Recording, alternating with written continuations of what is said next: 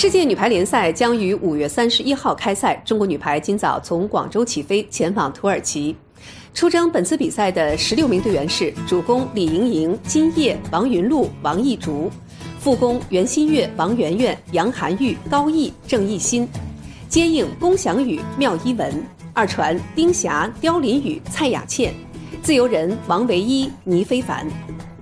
中国女排将先后参加土耳其、菲律宾、保加利亚三站分站赛，争夺总决赛的机会。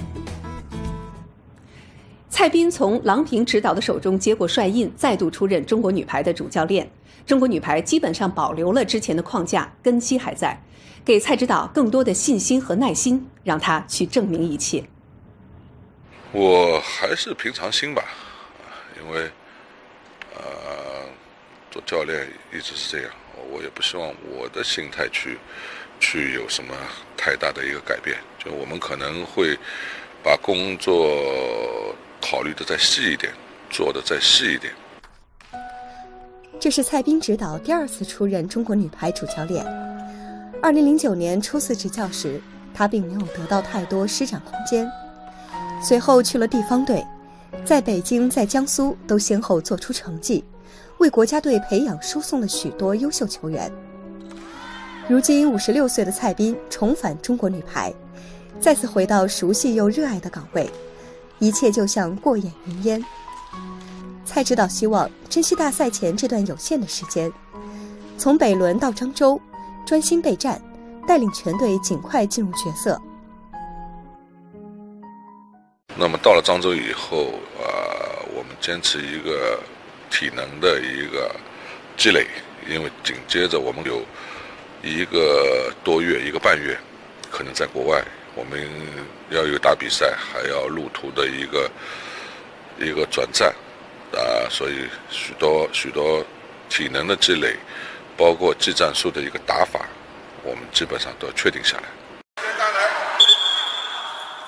了，开始了，那个手第二点，放这边去，放这边。回到熟悉的训练场，全队分秒必争。蔡指导目前圈定的阵容老中青结合，老将丁霞、队长袁心玥、得分王李盈莹、全能接应龚翔宇，以及副攻王媛媛，这几位选手经验最丰富。他们有些继续主打，有些负责传帮带。刁琳宇、王维一可能得到更多考察，吴梦洁、王一凡等新人，则是着眼于整个巴黎奥运周期培养的生力军。中国女排重新起航，全队的拼搏精神最为重要。呃，一个我觉得整个球场上的这种拼搏精神，这种敢于亮剑的精神，啊，不服输的精神，团队精神，我希望能够在球场上，啊，能够体现出来。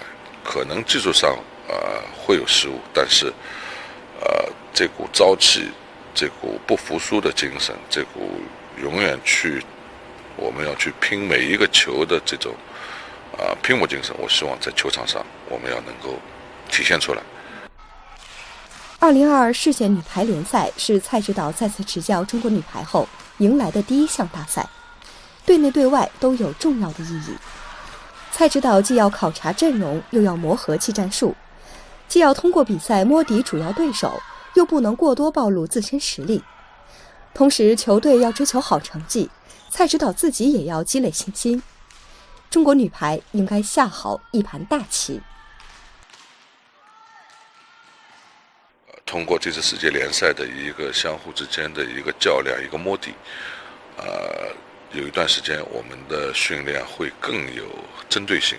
这个我觉得，所以对于训练来讲，呃，可能是有利的。就目前来看，我是希望我们能练到的东西，球场上我们能够体现出来，啊，那么因为我刚才说了，时间啊不允许把所有的东西都展开，所以只能我们现在练到怎样一个水平，能够把它体现出来，我觉得姑娘们就完成任务。路漫漫其修远兮，吾将上下而求索。五十六岁的蔡斌挺身而出。在国家队最需要时，勇于承担主帅的压力与责任，值得点赞。希望他能利用联赛中的经验，点石成金，妙手回春。世界女排联赛，让我们为重新起航的中国女排加油，为勇挑重担的蔡指导加油。